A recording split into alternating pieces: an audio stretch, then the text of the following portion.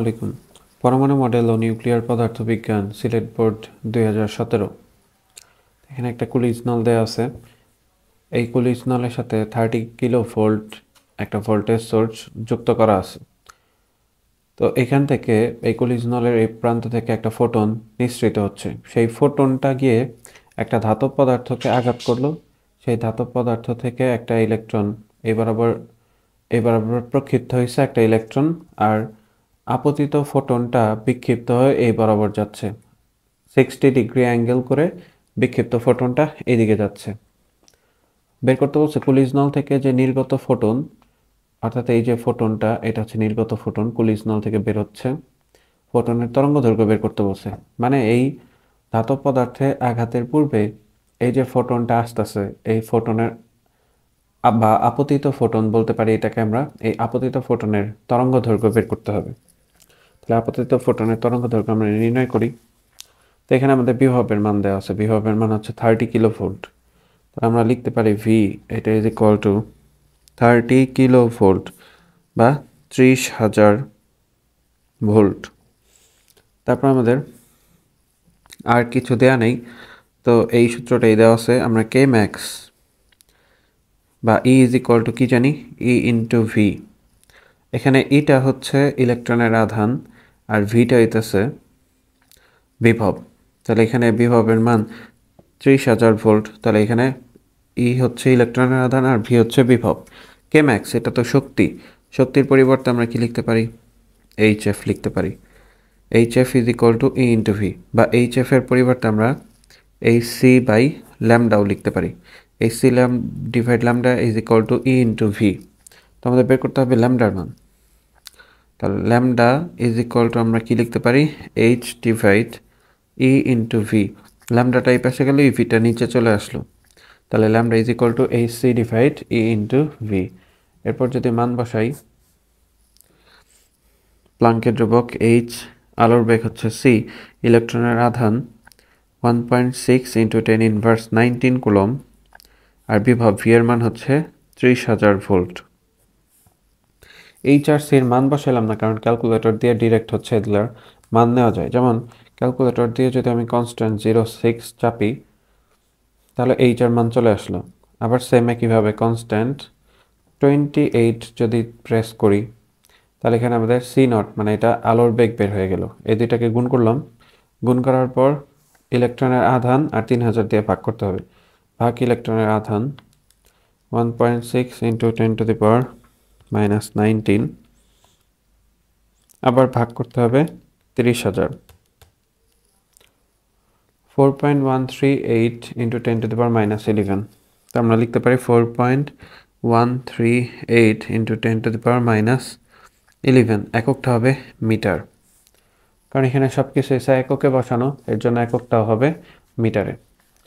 তো ঘ নাম্বার, বিক এখানে যা ফোটনটা আপতিত হচ্ছে, এই আপতিত ফোটন বা এটাকে আমরা বলতে পারি এই কুলিজ নল থেকে যে বের হচ্ছে, তাহলে কুলিজ নল থেকে নির্গত ফোটন, এটার তরঙ্গ দৈর্ঘ্য পেলাম four point one three eight into ten to দেওয়ার মাইনাস ইলেভেন মিটার এটাই গ নাম্বারের অ্যান্সার আশা করি গ নাম্বারটা বুঝতে পারছেন।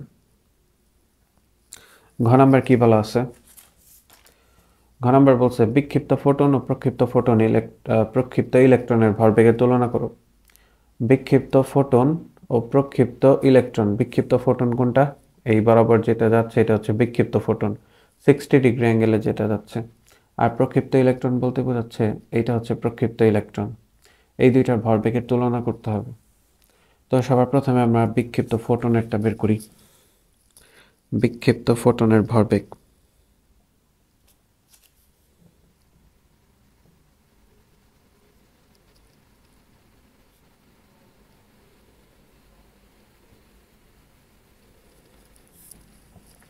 বিক্ষিপ্ত ফোটনটা এই বরাবর যাচ্ছে, এটার তরঙ্গ দৈর্ঘ্য আমাদের জানা নাই। এটার তরঙ্গ দৈর্ঘ্য যদি আমি বের করতে চাই, এটার তরঙ্গ দৈর্ঘ্য যদি হয় ল্যামডা, এটা হচ্ছে ল্যামডা প্রাইম।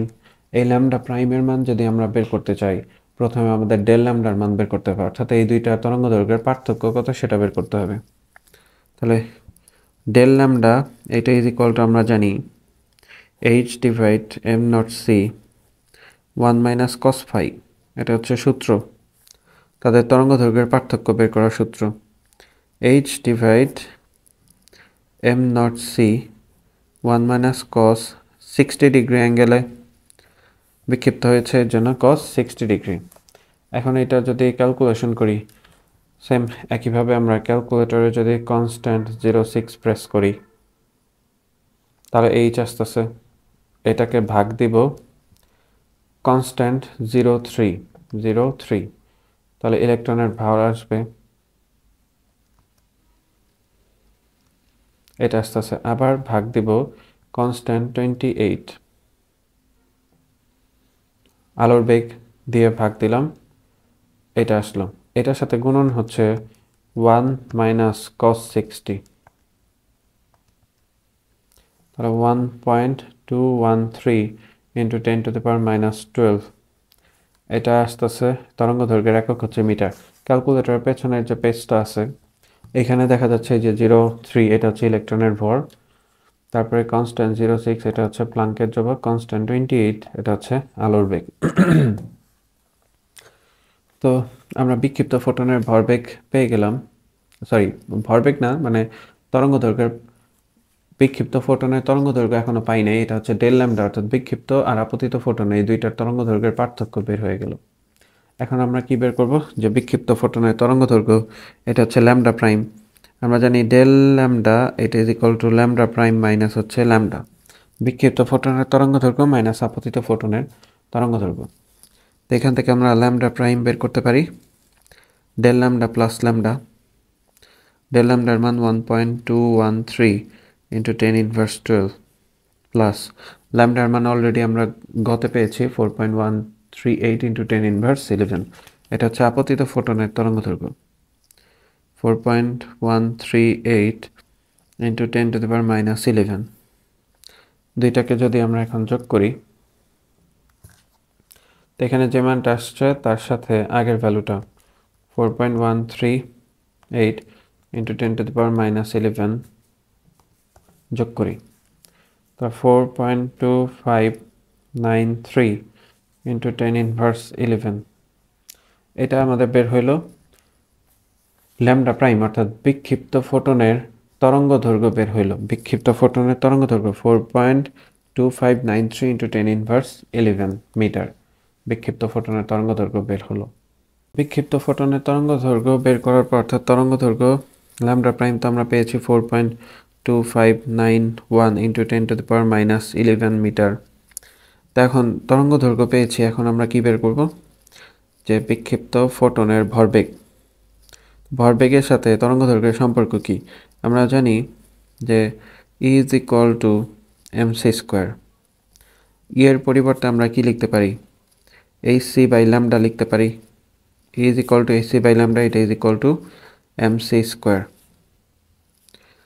বা এইচ ডিভাইড ল্যামডা এই পাশে একটা সি এই পাশে একটা সি কাটা, তাহলে এমসি এমসি হচ্ছে ভর আর বেগের গুণফল, তাহলে এটাই হচ্ছে ভরবেগ এটার পরিবর্তে পি লিখতে পারি P is equal to H by lambda তাহলে P is equal to H divide ল্যামডার মান পেয়েছি four point two five nine one into ten to the power minus eleven এটা হচ্ছে তরঙ্গ দৈর্ঘ্যের মান, পেয়েছি। তো ক্যালকুলেশন করি কনস্ট্যান্ট জিরো সিক্স দিলে হচ্ছে এইচ আসবে। এটাকে ভাগ দিতে হবে four point two five nine one into nine one into ten to the power minus eleven one point five five five into ten inverse twenty three peer মান one point five five five seven into ten inverse twenty three একক হচ্ছে KG metre per second, ভরবেগের একক KG metre per second. তো এটা হচ্ছে এসে এককেই আছে। তো ফোটনের ক্ষেত্রে ভরবেগ পেয়ে গেলাম, এখন হচ্ছে ইলেকট্রনের ক্ষেত্রে ভরবেগ। প্রক্ষিপ্ত ইলেকট্রনের ভরবেগ।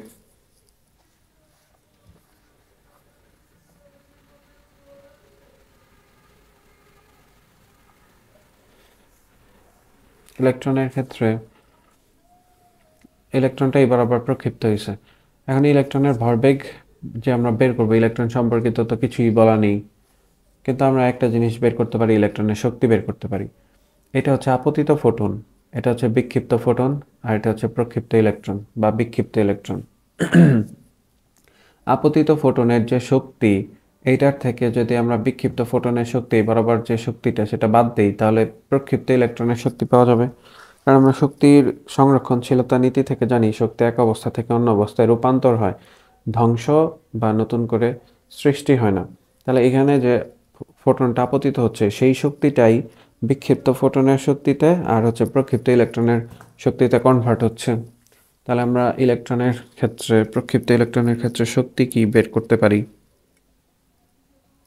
প্রক্ষিপ্ত ইলেকট্রনের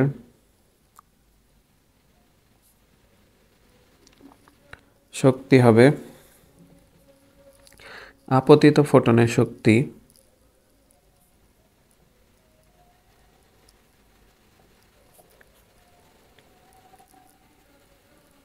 মাইনাস বিক্ষিপ্ত ফোটনের শক্তি। বিক্ষিপ্ত ফোটনের শক্তি।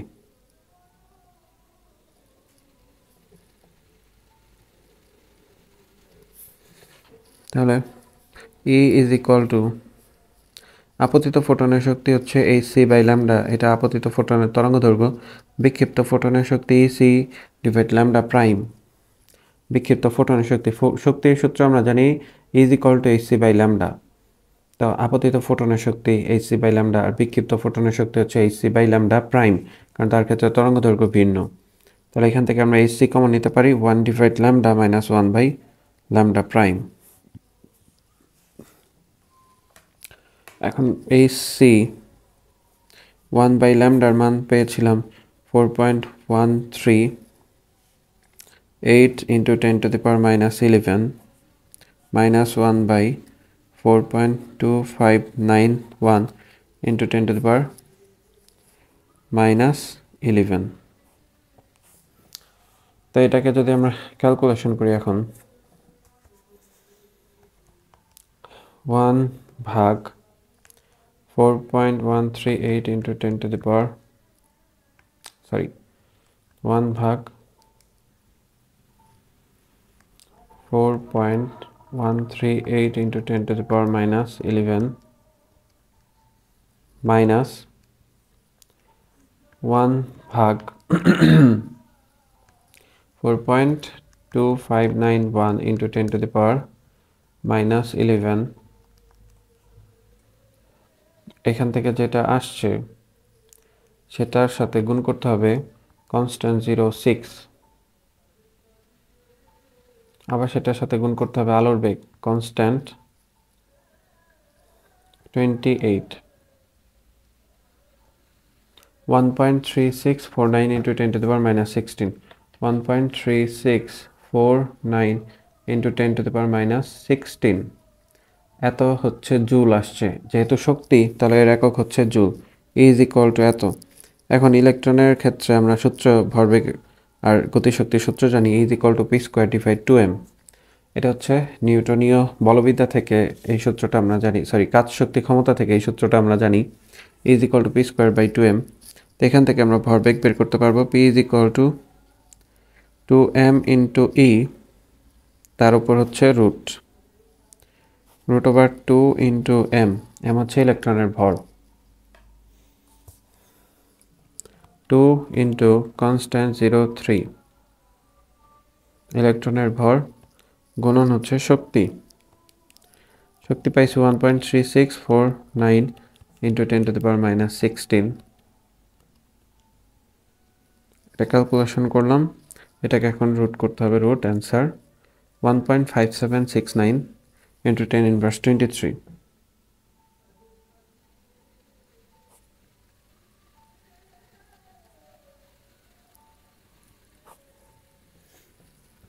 One point five six, one point five seven six nine, one point five seven six nine এত K G metre per second এটা হচ্ছে আমরা ইলেকট্রনের ভরবেগ পেলাম ইলেকট্রনের ভরবেগ one point five seven six nine ও into ten inverse twenty three আছে into ten inverse twenty three K G metre per second তাহলে ইলেকট্রনের ভরবেগ পেলাম এত, আর এটা পেয়েছি হচ্ছে বিক্ষিপ্ত ফোটনের ভরবেগ এত। তাই আমাদের বলছে যে ইলেকট্রনের ভরবেগের তুলনা করো। তুলনা করো যদি এই কোয়েশ্চেনটা বলা থাকে, উল্লেখ করা থাকে, তুলনা করতে বলে, তাহলে আমরা সেটা অনুপাত করব, অনুপাত বের করব। আর যদি কখনো বলা থাকে যে পরিবর্তন কত, তাহলে সেই ক্ষেত্রে আমরা একটা থেকে আরেকটা বিয়োগ দিয়ে দিব, অর্থাৎ বড়টা থেকে ছোটটা বাদ দিয়ে দিব। তাদের তুলনা করতে হবে, এই আমরা ফোটনের ভরবেগ পেয়েছি one point five five six into ten inverse twenty three K G metre per second আর ইলেকট্রনের ভরবেগ, এটা ফোটনের ভরবেগ, এটা ইলেকট্রনের ভরবেগ one point five seven six nine into ten inverse twenty three K G metre per second দুইটা যদি অনুপাত করি ই ই ডিভাইড হচ্ছে ইপি যেহেতু ইলেকট্রনেরটা বড়, এর জন্য এটা উপরে নিলাম।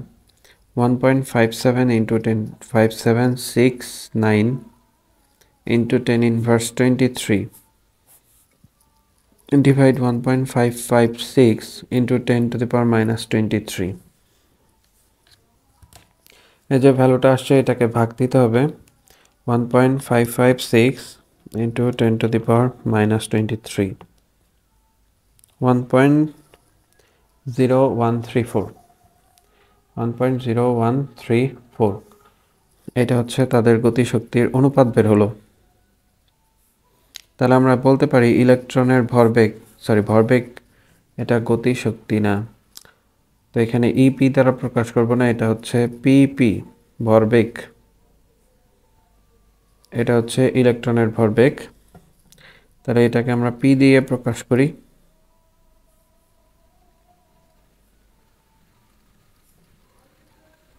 তাহলে ইলেকট্রনের ভরবেগ এটা is equal to one point zero one three four into ফোটনের ভরবেগ এত পি ফোটনের ভরবেগ আশা করি ম্যাথটা সবাই বুঝতে পারছেন, যদি সমস্যা থাকে অবশ্যই কমেন্ট করে জানাবেন। আল্লাহ হাফেজ।